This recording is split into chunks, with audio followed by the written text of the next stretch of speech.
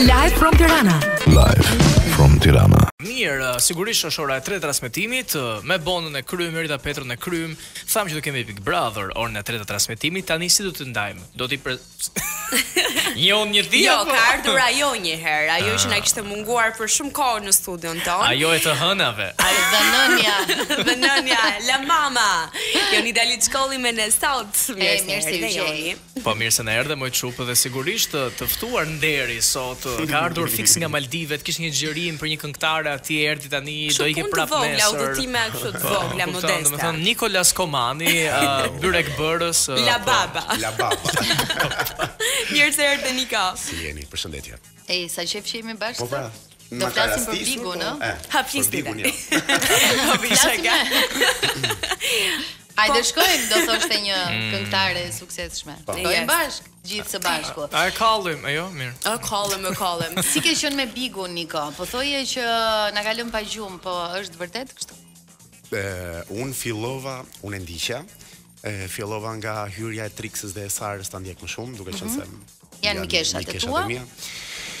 Ehm, nuk e ndiqja live-in, nuk e ndiqja Prime-in më mirë, por i ndiqja më shumë në YouTube. Tani, përveç se ndjek, kam filluar të shikoj dhe ë episodet e Prime-eve të vjetra në YouTube, po i shikoj, po shi, po dëgjoj ë ngjarjet siç kanë qenë se i Po kisha bën disa kapur- analiza. po plotësoj puzzle-in Po. për disa situata që nuk i dija. Që janë? E mm. nisim nga Sara, pastaj te Trixa. Ha, më thuaj, më më pyet. Puzzle-in pra, çfarë nuk nuk ishte plotësuar, si të është dukur Sara dhe më pas kalojmë te Trixa. Mua Sara në fillim më është dukur vetvetja pak e friksu, në thonjëza e friksuar, ëm um, dhe nuk arrija dot të kuptoja pse nuk pse njerëzit e nominonin apo pse gjithmonë e sulmonin. E sulmonin. Mm. Uh, pra nuk i kisha parë disa momente nga Sara. Që të kuptoja që në të vërtetë ka qenë pak më e mbyllur dhe Sara filloi të jetë Sara pas pas hyrjes së Pemit. Ë? Aha. Le ta themi kështu. Kurse filloi të hidhte rrënjë pema jon, po? Po. E di si ndihem sikur po më gjikoni, po më shihni të tre. Jemi jemi rreshtuar të tre me fytyrën nga Niko dhe po presim. Në po ndihesh i sulmuar, okay, ne po kthehemi dhe ti fol. Për Trixën Të të them të vërtetën edhe pse kemi folur deri natën para se të hynte deri në orën 3 të mëngjesit.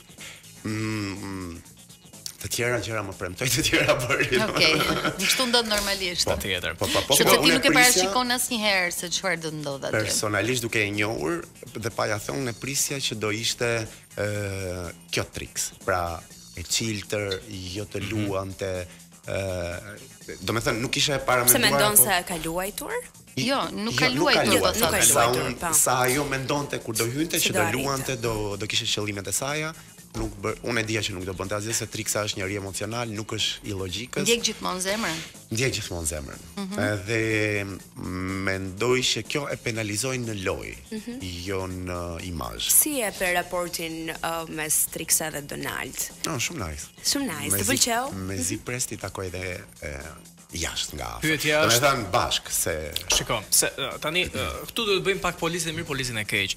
Në lidhjen e tyre. Ti i keqi. Me të ndjerësh, po okay, unë përfaqësoj okay. masën në këtë rast. Okej, okay, nuk dua të flas me ty. Okej, okay, kërkoj unë të flas dhe dhe denjoj të flas me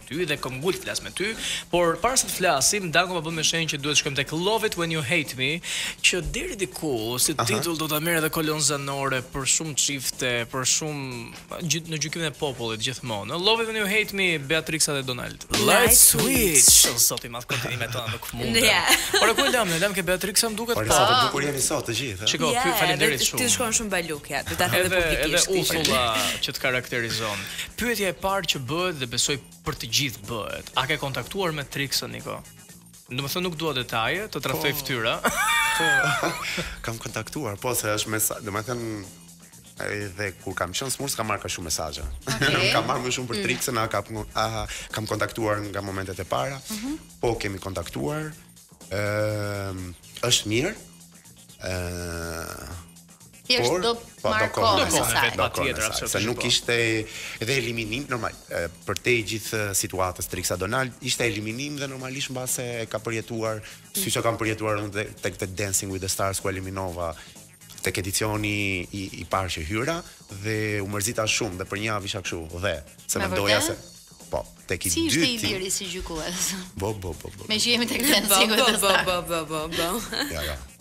A? Nuk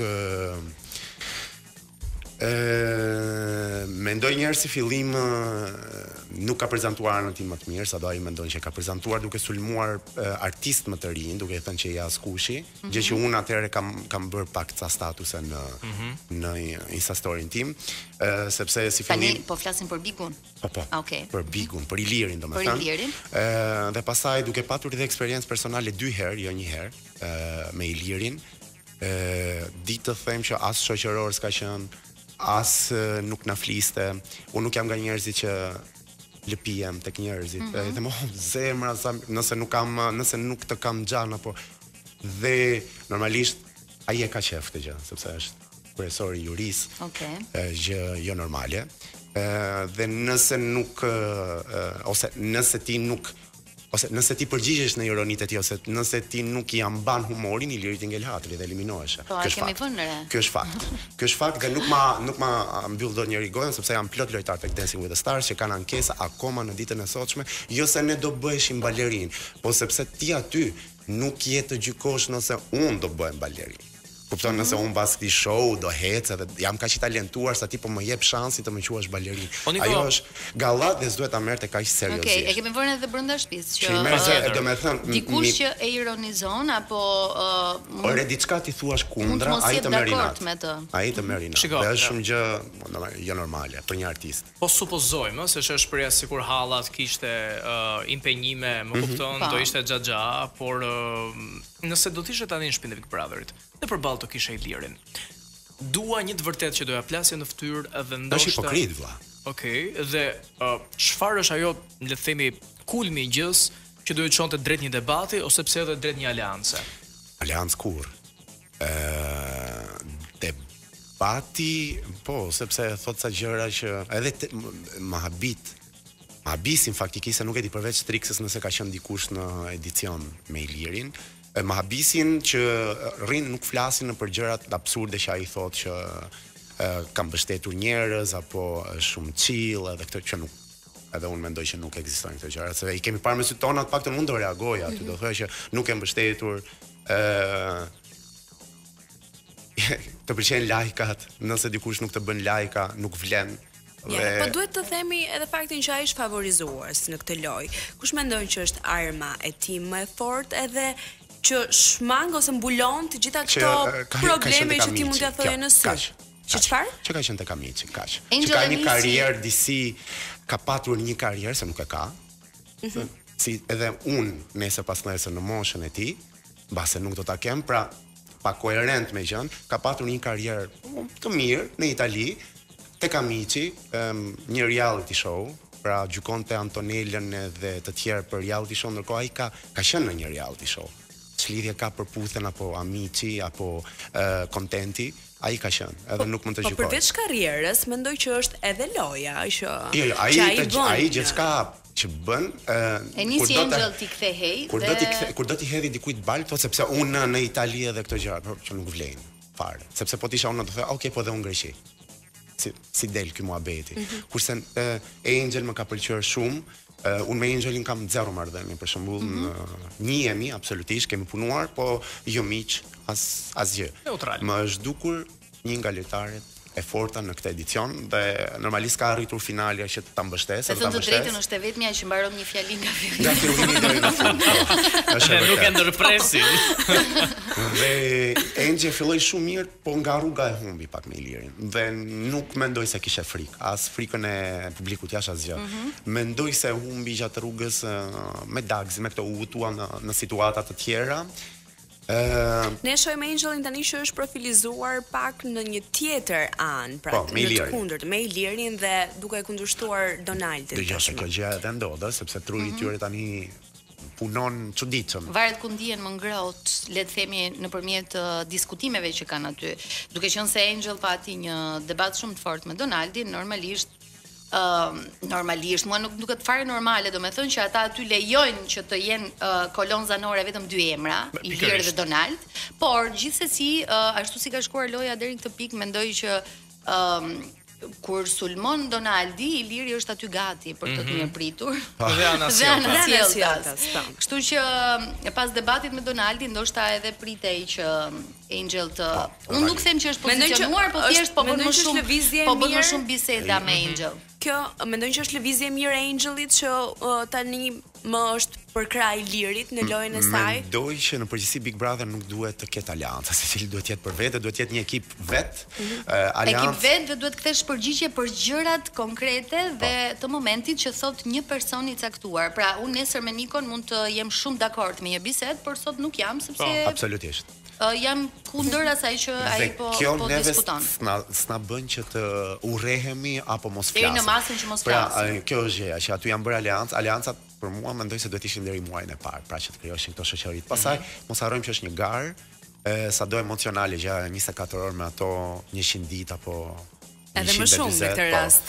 150, nuk e di, ë mendoj që secili duhet të jetë vet. Nuk më pëlqen si lëvizje që po afrohet me Ilirin, po e, si lojtare tek është nga të fuqishmet aty.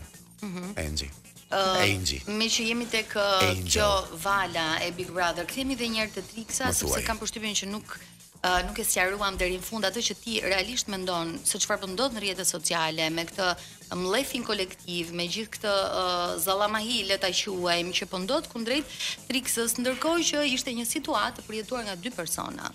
ë Ti jo vetëm si miku i saj, po edhe si njeri që e sheh nga jashtë një prej spektakleve më të ndjekur në Shqipëri, si si mund ta komentoje këtë gjë? Skandaloze. Skandaloze fare, ato nuk vranë njeri, ai një djalë single, ajo një vajzë single, ë mendoj se të gjithë ne jemi të tepërt, nëse ato do lidheshin apo janë lidhur normalisht se këto gjëra opinioni jonë është i tepërt në këtë gjë. Di që shqiptari do të ndërhyjë kudo se mhm. normalisht punët e tjera vlen më shumë se punët e veta, po. ama ë mendoj që e ekzagjeruan dhe kaloi në një farë bulizimi. Ëh mhm. bulizimi online, ëh cyberbullying që është edhe më e agravuar. E agravuar sepse mm. del jashtë kontrollit, ti nuk ke kontroll në asgjë, sa do ti të bësh blok në Instagram nëpër rrjete mhm. sociale, mm -hmm ato gjejnë mënyrën uh, të komentojnë. Ja, ti kishe bërë një shkrim të gjatë për uh, për situatën e Trixës. U preke nga kjo gjë? Disa shkrime. Po u preka sepse mm, si fillim uh, le ta kalojmë tek primari që ajo duhet të mbështetej nga shumë njerëz dhe ajo nuk u mbështet. thuajse nga askush. Shiko, për këtë, për këtë si? e ke fjalën për miqtë e saj. Për miqtë e saj uh, dhe rrethin e saj. Mhm. Për këtë Niko do të pyesim pak më vonë sepse ti në në, në shumë story të që publikove atë natë, uh, njëra më bëri përshtypje që ke përmendur dhe familjen. S'ka rëndësi rreth i ngushtë, rreth i madh, nuk më intereson, por ke thënë shpret kur nuk ke as le të themi mbështetjen maksimale dhe primare nga familja. Po deri atëherë Cold December nga Rod Wave, Wave, Wave. Meqenëse edhe ditë të ftohta mm. në fakt kanë kapluar vendin, kështu që kjo kënga është ideale, kështu që vishuni trashë edhe gjithmonë zemrat e ngrohta. Niko përvish mëngët se do të pyesim zemra. Ja pra jemi rikthyer më në fund pas 7000 jinglave dhe 7000 këngëve të ndryshme, jemi këtu. E di pse them këtë se po më vlon gjaku të zbuloj çfarë bën e Beatrice. Jo, kam përshtypjen që edhe të gjithë dëgjuesit mezi po presin, ëh, që të kuptojnë më shumë nga mhm. Big Brother, edhe çdo analizë që bëhet, Madje ata e bëjnë vetë, në në çdo tavolinë ulen dhe diskutojnë, Është edhe për temë e analizojnë ditës. ë, çdo detaj ë, ë, E ose di, e ngjarje. kam kap veten shpesh e them, nuk më intereson Big Brother, nuk dua të merrem, po në natën e Prime-it jam aty pesë minuta para mezi pres të fillojë, domethënë dhe po Me patatina në dorë. Yes, le- gjithmonë, always, Lay's me limon.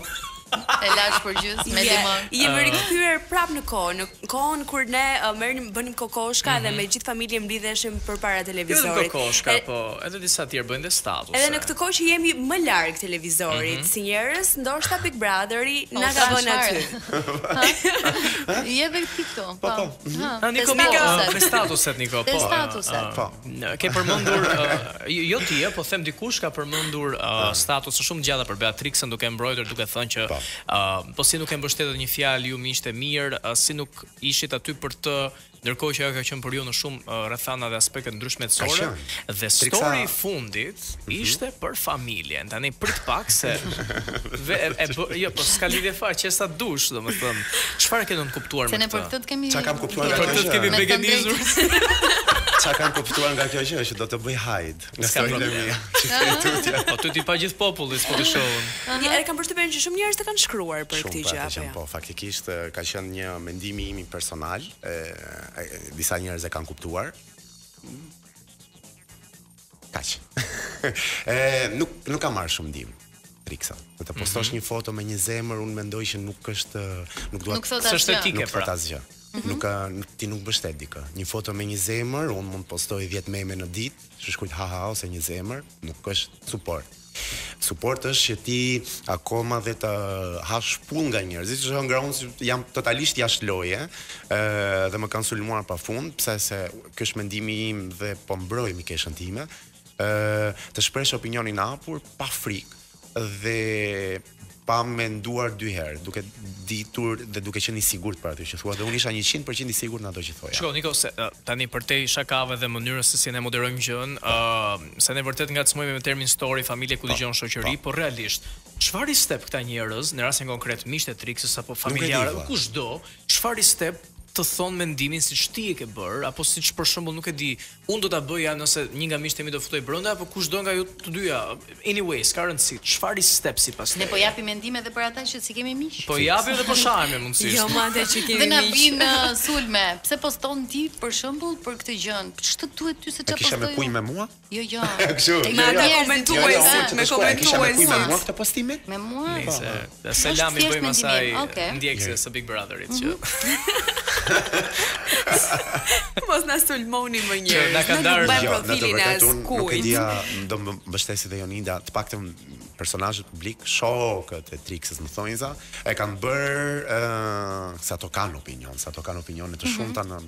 tematika të shumta, mm -hmm. e kanë bërë për të mos humbur ndjekës në rrjete sociale, për të mos u kritikuar për një muhabet që nuk i nuk është i tyre, mbase brenda vetes dhe ato kanë menduar që Triksa ka bërë gabim.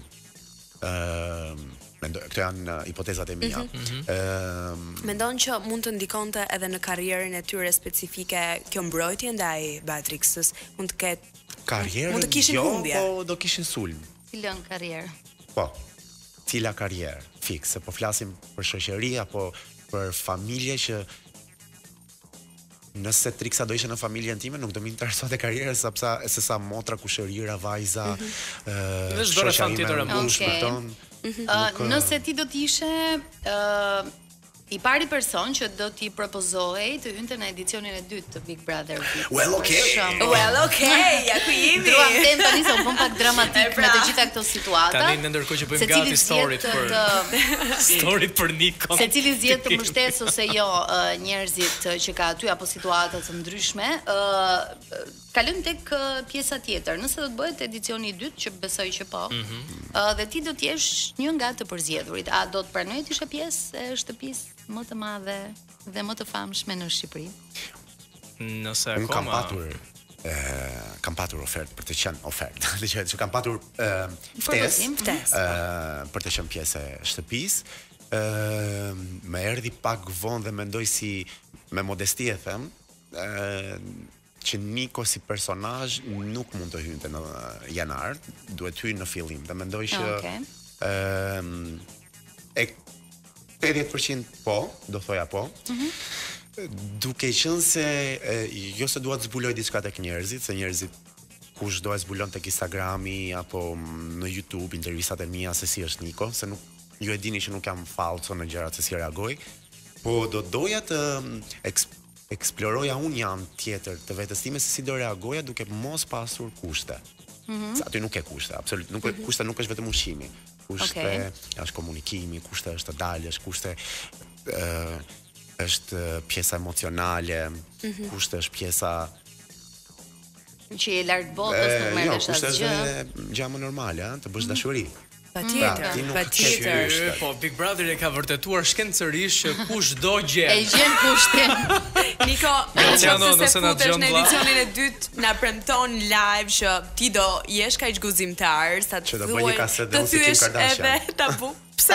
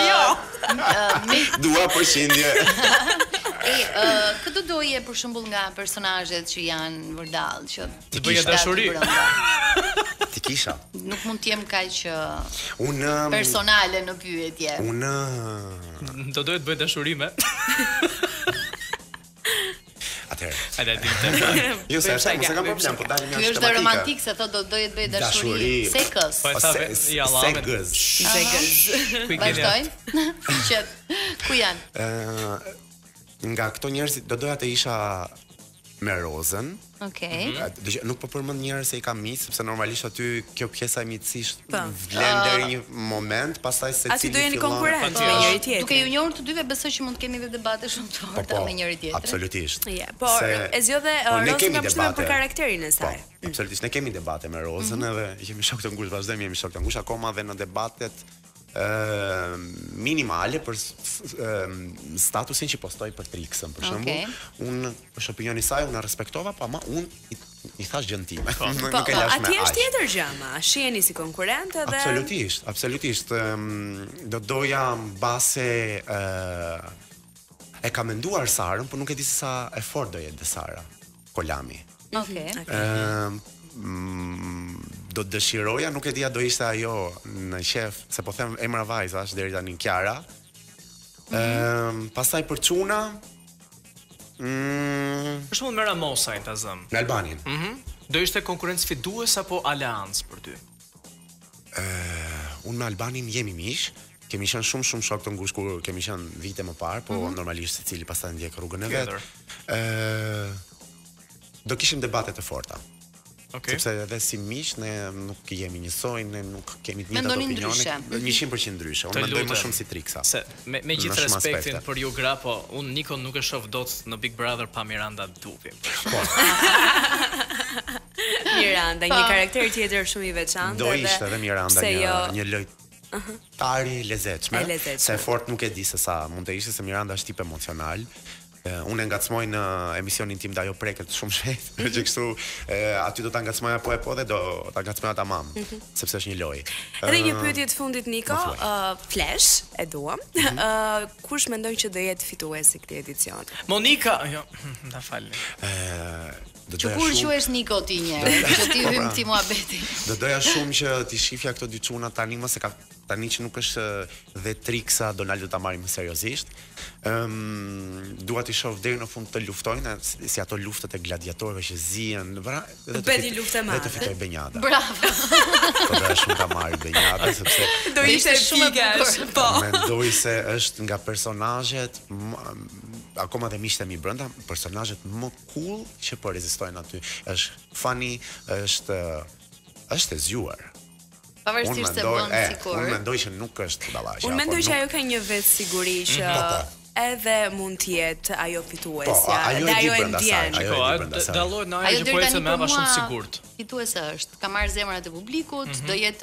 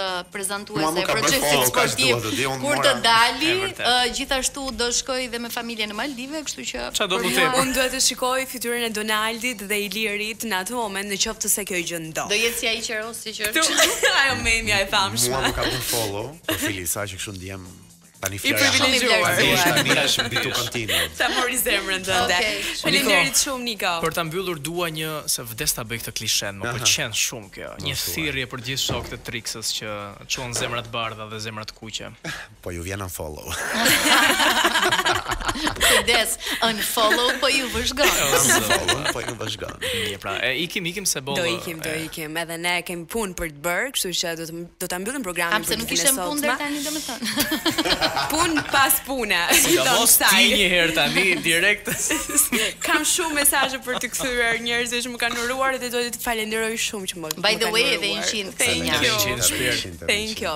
Faleminderit që ishit sot. Edhe presim përsëri të hënën Jonida për të komentuar të tjera ngjarje. Faleminderit shumë Niko që ishe me ne. Faleminderit, faleminderit, faleminderit që më dhatë mundësinë të flas për Trixën, se sa fort e dua sa vajzë e pastër është. Edhe për gjithçka, domethënë jo realisht të falenderoj edhe unë si Elios po besoj edhe gocat sepse realisht ka dhënë një shembull shoqërie të pastër, edhe që nuk e gjejm. në shpesh në këtë botë kaq globale dhe kaq shpejt. Edhe me modesti, në të vërtetë dhe Jonida më njeh që në ardhjen time që kur shkela këmbën në Shqipëri, uroj me modesti e them uroj të gjeni një shok si Niko sepse un edhe nuk e di apo edhe kështu. Atë gabim ta keni bër, un do jem aty e do të mbroj. Sa modest. Dhe është. Dhe është.